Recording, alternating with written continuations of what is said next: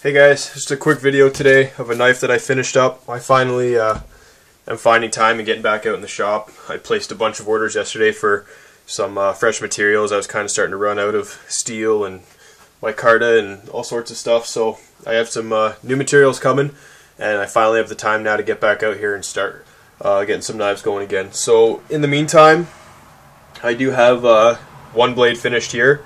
Uh, it's not a cheap one, but it kind of uses all the premium materials that I had. So this is a uh, CPM S35VN uh, stainless blade with uh, unidirectional carbon fiber scales and the uh, the chainring bolts uh, for the hardware. So these scales are removable.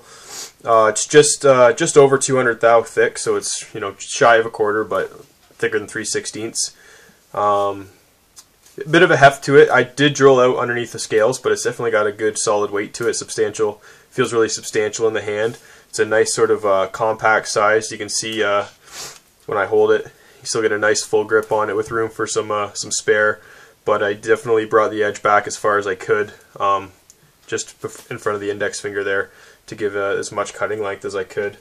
So uh, this one's going to be 250 shipped. So by the time you factor in the shipping and the PayPal fees and everything, the actual cost that you pay is about 220 because it's usually about 20 bucks for me to ship and plus the fees on 200 bucks is 7 8 bucks or whatever on PayPal. So um, that's going to go up on my website. I actually need to renew my membership on Blade Forum, so I won't be putting this one up on the forums, but it'll be available to you guys here.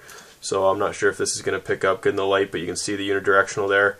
Sort of looks like a like a wood grain almost, but it's uh, carbon fiber, so it looks really nice.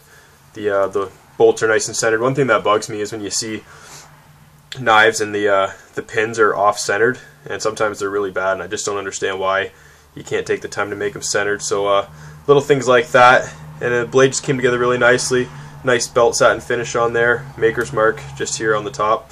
Uh, very lightly knocked the uh, the edges off the spine here, so it's comfortable. There's no uh, 90 degree angle that's going to jab into your finger. So, um, so yeah, guys, that's the blade. It comes with an OD Green Kydex sheath. Really, really good retention. Not even any wiggle in this one, and it just uh, pops off. So uh, that's the package, guys. Like I said, 250. I'm going to be putting up my website as well. In addition to that, I have this little sort of uh, O1 Skinner I'm working on. It's going to have uh, brown liners and lightning strike carbon fiber scales. Might work on that one a bit today.